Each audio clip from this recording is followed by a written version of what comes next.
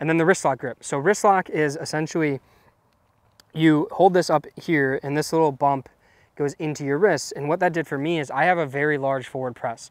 So my big fun fact of my bag is my putter has more loft on it than my driver does. Um, that's not a statement that a lot of people can or should make, uh, but that's just how it is because I have a very large forward press.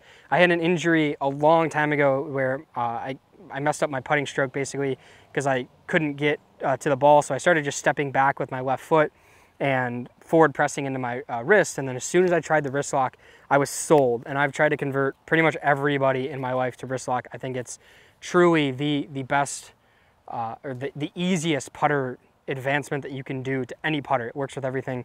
Um, so I love it. A big WristLock guy, huge fan of it if you can't already tell.